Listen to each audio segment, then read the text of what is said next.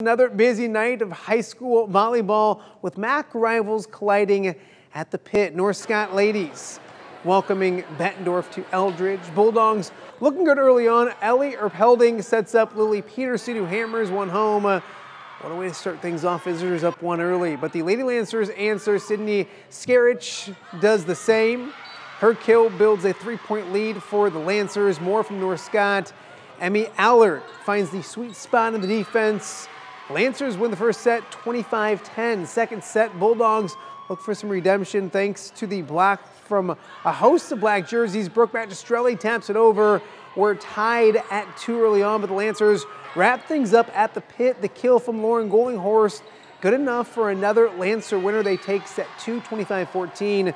North Scott sweeps the Bulldogs three games to none. Let's stay in the MAC. State ranked Assumption hosting Davenport Central. Lady Knights with a great start. Ava Harris Shepard skies and slams home the kill. Assumption races out to a 4-0 lead, but Central will answer quickly. How about a little defense? Morgan Ferris comes up with a big block. Central down 8-6, but back comes the home team.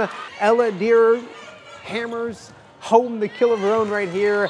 Assumption goes back up by three. Then it's Ellie Schubert setting up Maggie Johnson for another big point.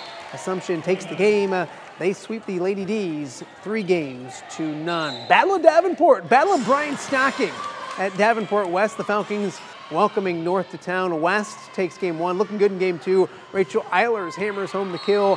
Falcons up 13-9 in game two, but the Wildcats answer. Hope Clark sets up Chloe Baez for the kill. North back within two. Falcons respond. This time it's Haley Clare winning the battle at the net. Home team builds that lead back up to 16-12, but the Wildcats claw right back. Cameron Becker finds Baez for another point.